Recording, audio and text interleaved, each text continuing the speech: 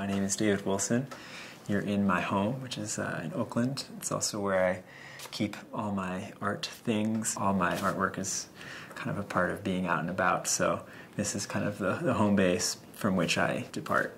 With SECA, I'm going to be developing six installations around San Francisco. I've been and I'll continue to be walking the streets and taking note of interesting spaces that uh, have a quality of kind of either forgotten territory or kind of a gray zone.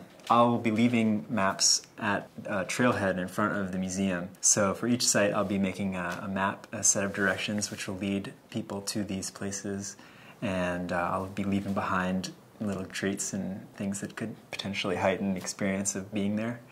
Recordings, drawings, and sometimes it'll be more of an invisible touch kind of thing, like cleaning a space or just removing something. I'm planning to have a sound piece at the end of each of the six walks. So I'm inviting different musicians to actually meet me at these des destinations and sit and you know record a piece that could be um, in their mind appropriate for that space. I think recordings, um, sound recordings, are a really nice way to kind of offer some point of focus at the end of a journey. Living in Oakland, the majority of my explorations have kind of leaned towards the east. So this invitation from SF MoMA has also been a really nice encouragement to let the city of San Francisco be um, the place that I really get to know.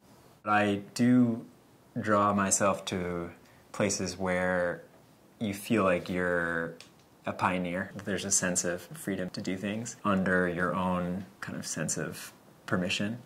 But I'm doing things that would bring people a little bit more uh, into a state of awareness in these spaces. Maybe you know this neighborhood so well, but even even on that level, there's always more to learn. There's always more of of the environment to kind of get into, and um, yeah, that, that kind of sense of place could get a little bit deeper.